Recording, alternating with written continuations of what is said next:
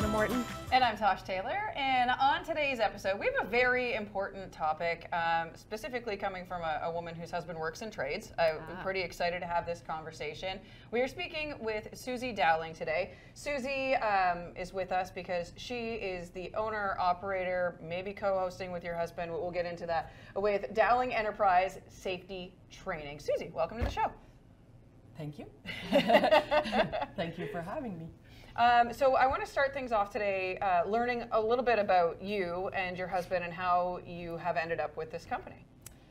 Well, at first when I got in the trade, uh, my duty was to do uh, daycare. So I started in daycare for 17 years. Uh, for some reason, my neighbor came to me and he said, uh, a company need a safety coordinator. So do you want to apply? And I said, well, I don't know if I want to do it. so I didn't know nothing about construction, but I decided to apply to really please him, to be nice to him. And two days after, I was hired. So that's the way I start my career as a safety coordinator. So for uh, two and a half years, I did that in a general uh, um, manager company. And after that, I when I started to take trainings and all like the involvement as well as the employee to get trained, uh, because by law we need training uh, for using aerial lift or telehandler or fall protection, uh, and it's part of construction. So every time that I was trying to send uh, my boys or girls to go uh, for training, either it was I needed 10% at the time to go for training, uh, which is pretty much impossible to get 10 people out of the construction site. Mm. And every time it was canceled because there's not many teachers. So I decided to start Dowling Enterprise. Because for me, like when you look at roofers or siding, uh, the people that's doing siding, uh, they want fall protection now, not in three weeks or five weeks. So that's where uh, Dowling Enterprise uh, started for us. And um, also, we didn't have anybody doing it in French. Huh. So I am somebody that can do it in French. And also, what we push through is we have a lot of people coming from out, out outside um, um, Canada and they have different language. So what we did, we can have the books in Spanish, so we can use a translator and do it in their own language. Because for me, safety is the first uh, thing that should happen on construction site because we want people uh, to go home at night. Mm -hmm. Absolutely. Interesting. it just it, it boggles my mind that there was such a hole in the system that you were able to, I, am I'm, I'm glad you were able to step in and fill it, but for, that for so long there was such a hole in our system that you couldn't have French safety training or that you couldn't even access the training as quickly as needed. Yeah. And also it's, what happened is, um, to, to get those training, it's so expensive. So that's why it's, when you're a new to this, uh, it's scary. It's scary to start your own business and be like, oof, what kind of money? Like when we started, I started that in my living room. And that was horrible. That was horrible feeling. We understand that, both of us oof, do. Yeah. because I had to clean my house every day in my bathroom. Every day I had a dog and a cat and people coming in and oof. Um, and after that, you know, we want to know if it would work as well, right? But when we seen that people were coming, and also because I am in the trade and people know who I am and they wanted me to be successful, I had a lot of company that uh, were helping with that. So that's why they were coming to us. So now we were able to build an office, which I love because right now I just have to put the book on the table and my class is ready. Don't have to clean every day. so for me, uh, it was it's something. And what happened is here in New Brunswick, we're kind of 10 years behind Alberta. Mm -hmm. For safety, uh, it's, it's really horrible. Uh, we should be ahead of the game and pushing it, and training is the first part of the safety.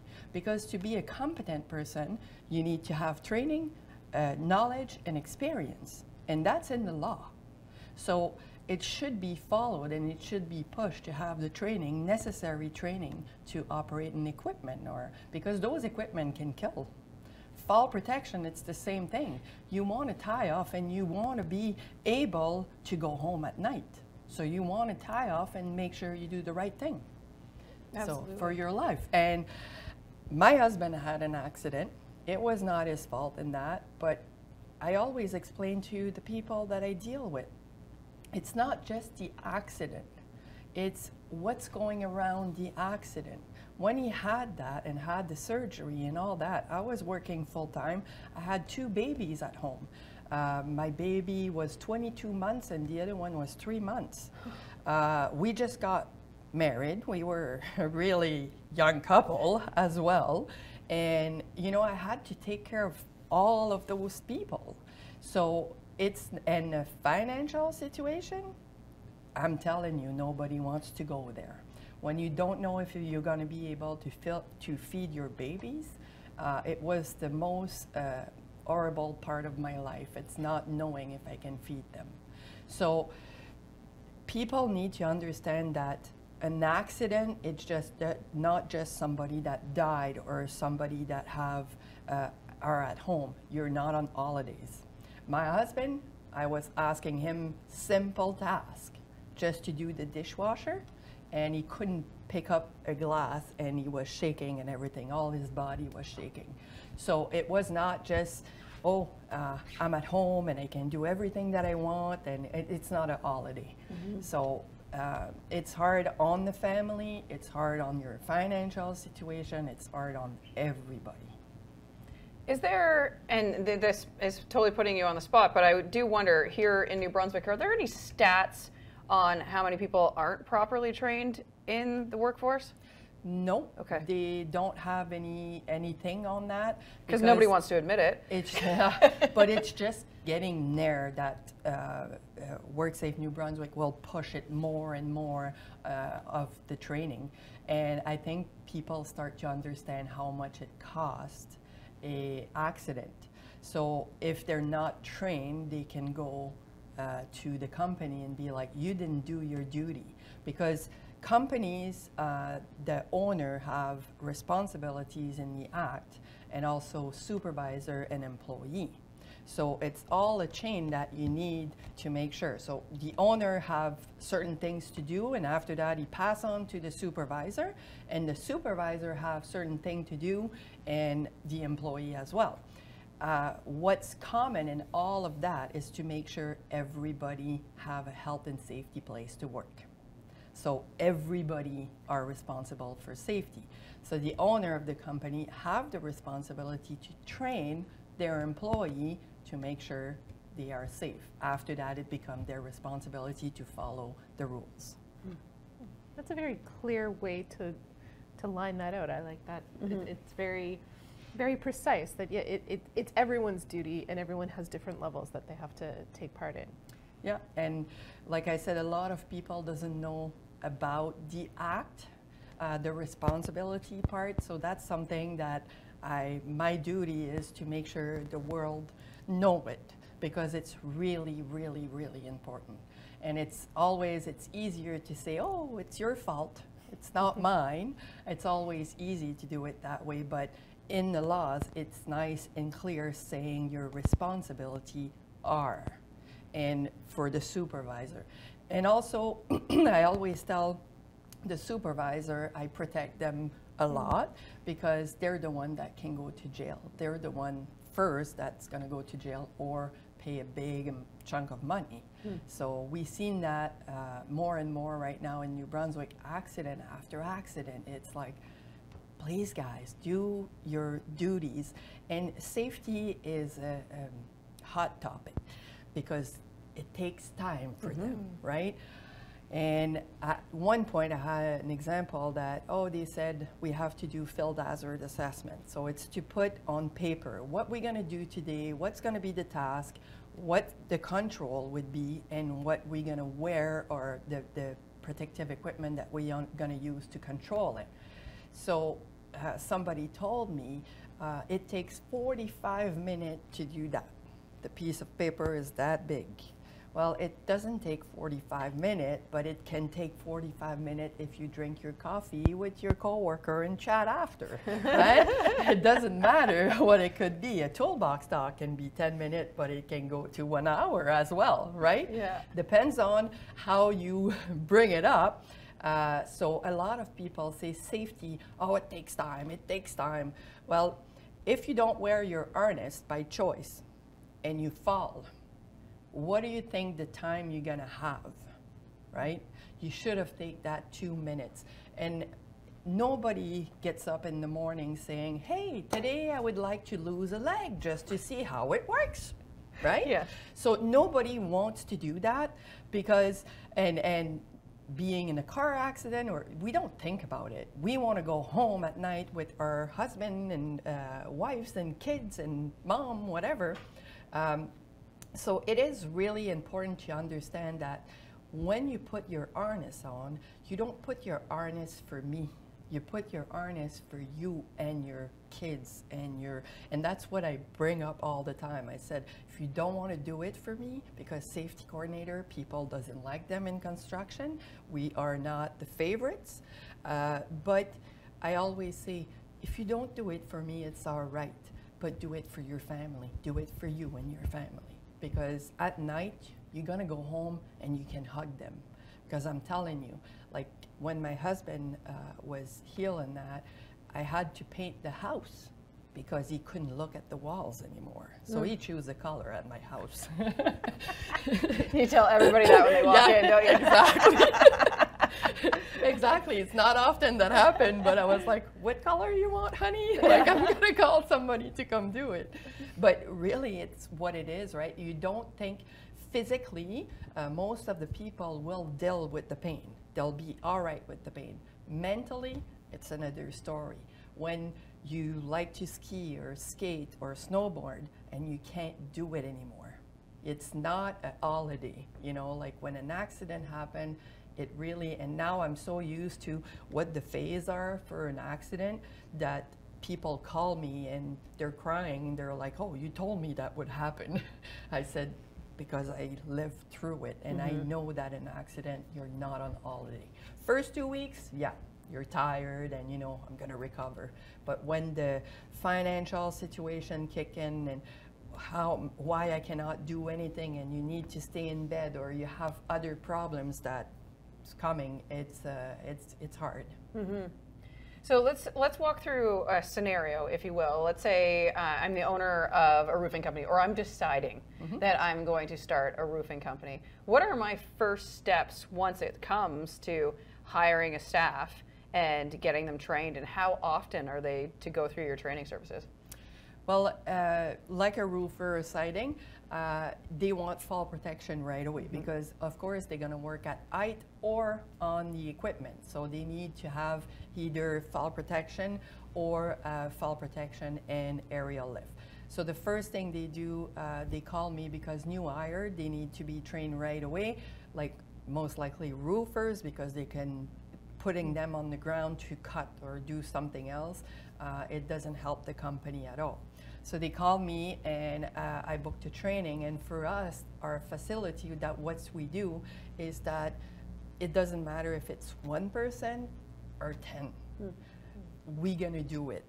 Most of the people are like me, last minute. I'm always last minute, and I was always, I'm, I'm like that. Uh, so when I called for an appointment or anything, can you do it tomorrow? Right? We, we, the, the life is so fast sometimes that we lost track. So they call me, when they call me, hey, can you do it uh, Friday? And most of the time, I do it on the day that they need because they need to be trained to go to work. So it's really important to me. After when they did it uh, one time, uh, they come back in three years Okay. to renew uh, their ticket. Most of the time, when it's the renewal part, it's faster.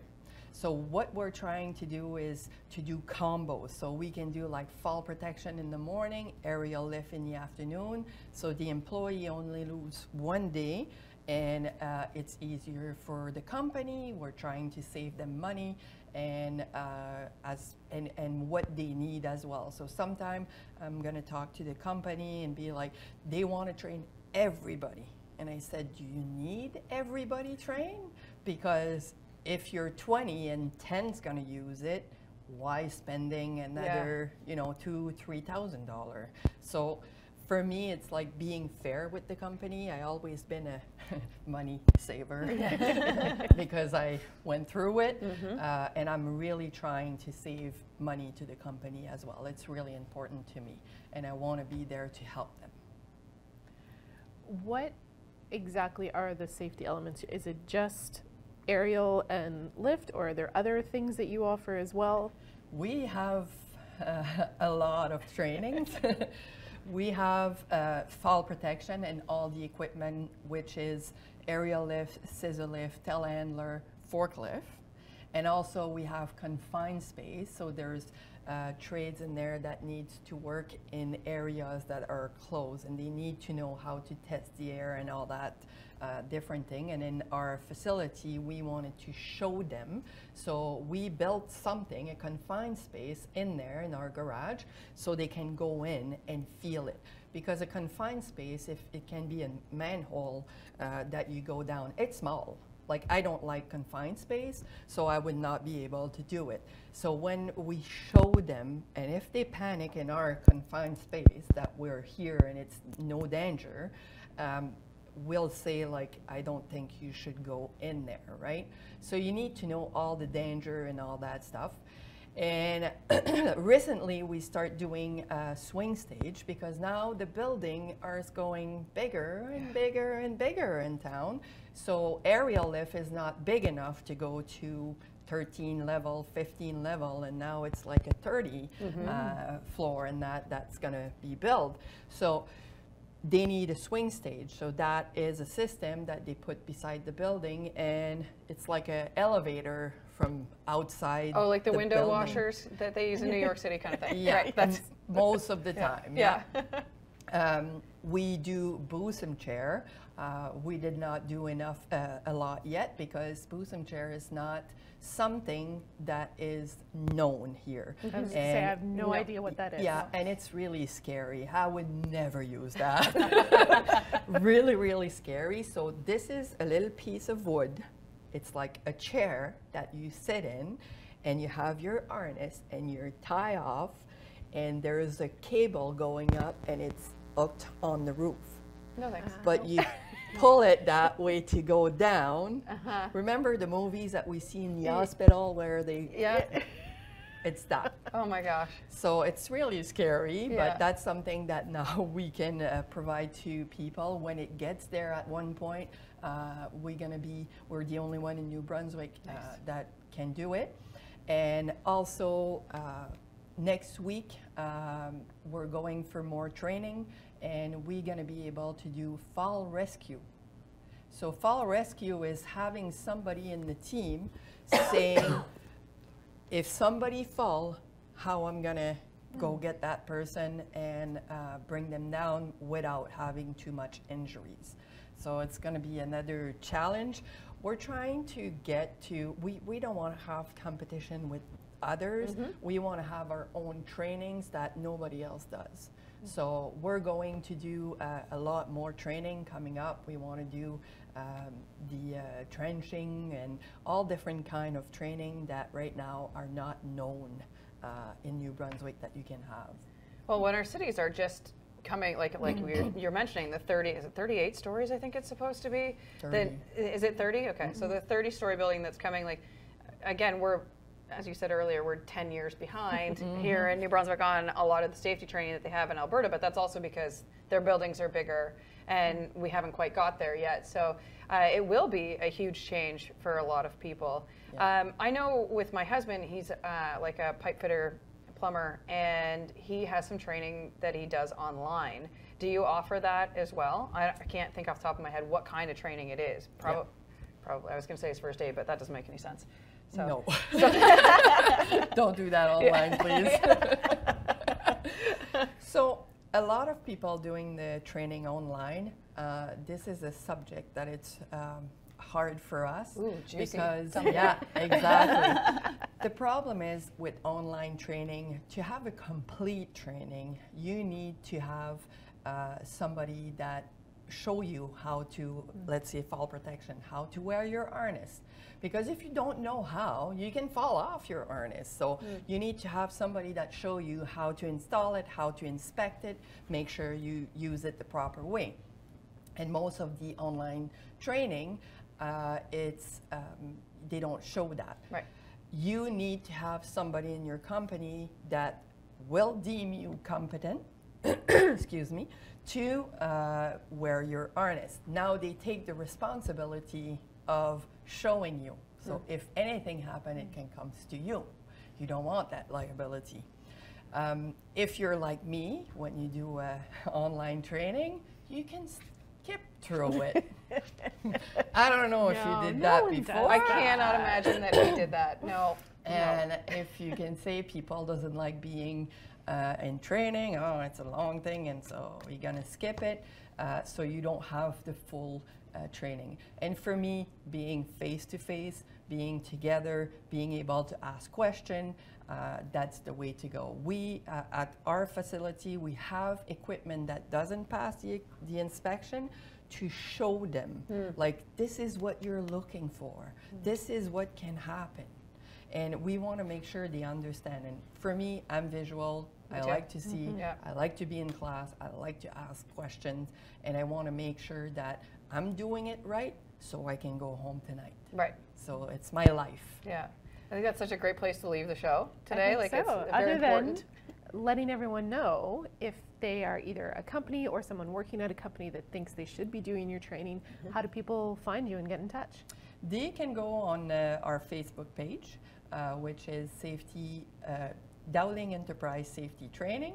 Uh, please just go on the page, like, share. Uh, you can call me at uh, 506 962 1013. Uh, and also, um, you can go on my LinkedIn as well. I always put message uh, in there. I'm sorry, I'm not on Instagram yet. Technology, I'm, I'm 10 years behind too. But I'm gonna find somebody to help me Yeah. one day with that. Uh, but I'm trying. Right now, we're so busy, and you know, book the day, reserve your day because uh, sometime I have a call. The other day, I had a.